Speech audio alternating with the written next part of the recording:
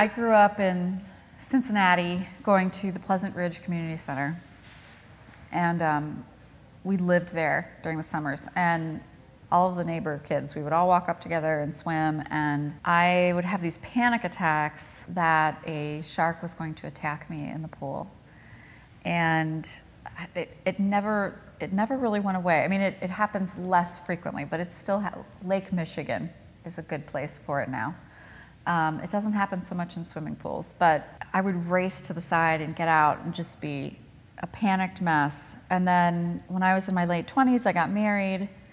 I remember waking up one night realizing that my husband was going to die and being so overwhelmed by that. It never had occurred to me through all of our, all that stuff you have to go through before you get married, like all those tests you have to take. and like, well, have you talked about dying? Because that's pretty major.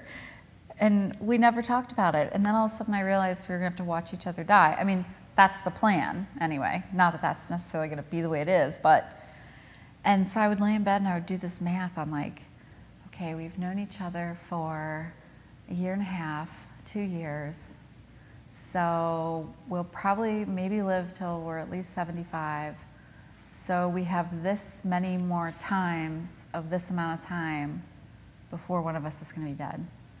And I would sit and do this math in my head and just have a panic attack and um, make myself nuts. So I came from families that pretty much always said, like, figure your shit out and you're fine, move on, you know.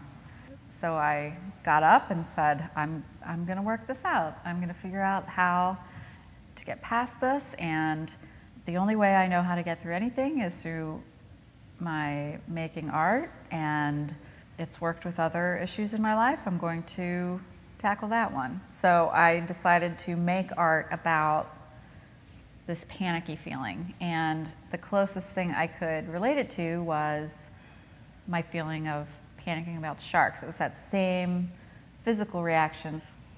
And so I started doodling this little shark girl who I've always drawn a lot of children, mostly girls, in party dresses. So I started drawing this powerless girl who looked like she was going to a party. And the shark head was sort of her inner fear, but also her struggle for power, struggle to have control. But then there's also, you know, in just researching sharks over the years with my obsession of them, like just the complete lack of emotion and frenzy that they have, and they terrify me. But at the same at the same time, I terrify me. You know. so, anyway, so I've been making this shark girl since like 2004 or five, and I started out just making drawings of her, and then I created a large scale drawing that had all these little shark girls running, and they were all wearing a pink dress with a blue sash. There was something about the drawing that I just really felt the need to create her three dimensionally. It's funny because I, I feel like I'm thought of more as a sculptor, but in my head, which is never correct, I'm a drawer and a draftsperson.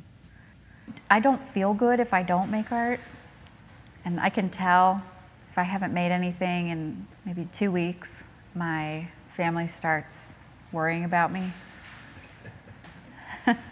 Yeah, I grew up a big fan of children's books. I've always wanted to be an illustrator. I've sort of made a study out of looking at all of the imagery in every book I can get my hands on. And I was also a huge fan of the Grimm's fairy tales when I was a child, so I sort of found the little violent edginess of the Grimm's fairy tales. I sort of found that appealing. And there was also something, you know, so sort of dainty about the female characters and the portrayal of birds and just that animals could speak. And I started bringing that into my work when I was probably about 10.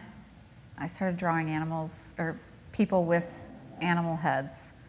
But I always drew these very sort of refined, like I draw like a, a an opera singer with an animal head. I don't know, I thought it was very romantic. it never changed. My work never changed. it never changed. It's almost like doing service work where if you do the work to try to unravel your brain and the way you function, and you really try to get that down in your work, then you have a better chance of engaging. I mean, it, you know, it's not going to be every viewer, but think if you hit a couple of viewers where they're able to unlock something within themselves that they're not, you know, conditioned or built to normally be able to identify, that you're doing them a real service. I think that's like that's the core of our job, really. I never get tired of that.